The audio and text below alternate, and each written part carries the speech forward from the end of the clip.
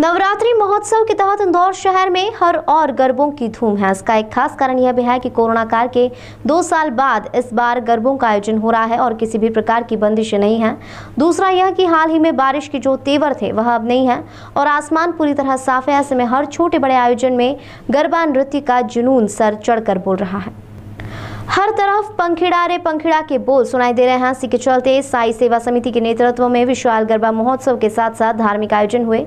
वहीं छोटी बड़ी बालिकाओं और मंडल के सदस्यों के नेतृत्व में धार्मिक कार्यक्रमों का शुभारंभ हुआ। माँ दुर्गा की आरती के बाद गरबा और बंजारा लोकगीत पर भी गरबे की प्रस्तुति दी गई, जो कि देर शाम तक चलता रहा।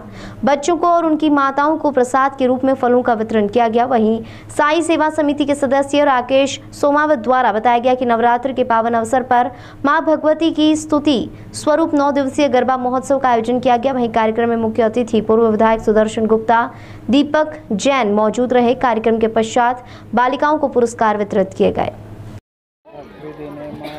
की आज आराधना का आखिरी दिन है। कल दशहरा है आज यहाँ पे मौजूद हुए।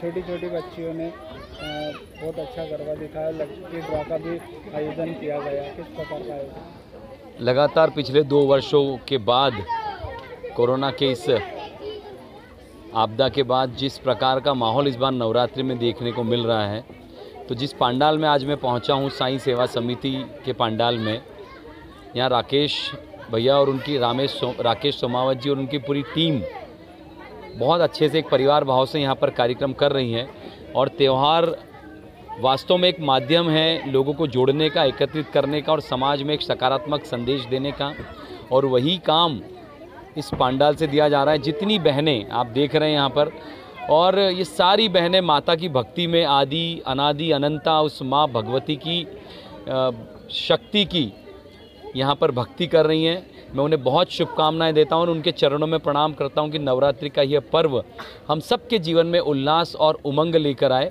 और कल विजयादशमी का पर्व है, शौर्य और पराक्रम का प्रतीक, बुराई पर अच्छाई की जीत का प्रतीक। कल हम सब रावण दहन करने वाले हैं। हम सब कल विजयादशमी का पर्व मनाने वाले हैं तो विजयादशमी के भी पर्व की सभी को बहुत बधाई और शुभकामनाएँ। बहुत बहुत धन्यवाद। दीपक टीम नवमी के दिन आज आखिरी महोत्सव का दिन है माता जी का दिन है तो इसमें अ, समाज की वेशभूषाओं को लेके और गरबा नृत्य स्पेशल रखा गया था जिसमें आसपास की जितनी महाता बहनें आई थी उनको लकी ड्रा द्वारा दे के लकी ड्रा खोला गया उनको इनाम वितरित किया गया और हमारी गरबा मंडल की जितनी बालिका है इन्होंने स्पेशल वेशभूषाएँ पहन के गरबा किया है। और निरंतर गरबा देखा गया जो बंजारा समाज द्वारा प्रस्तुत किया गया। बंजारा समाज की ये वेशभूषा पारंपरिक वेशभूषा वेशभूषा है ये सदियों से हमारी माताएँ बहनें ये पहनती आ रही है और इसी को स्पेशल बनाने के लिए हमने ये गरबे में आयोजन किया गया ताकि ये हमारी आने वाली पीढ़ी को भी इस वेशभूषा का महत्व पता चले और ये भी इस तरीके पहनावों को और उत्साहित से आगे बढ़ाएँ। इसलिए वे बच्चों को भी पहना के गरबा नृत्य कराया गया यहाँ पे, ताकि उनको भी अपने समाज के बारे में ये पता चले। राकेश सोमावत, भाजपा नगर मंत्री, पिछड़ा वर्ग मोर्चा, इंदौर, वार्ड नंबर एक, विधानसभा एक।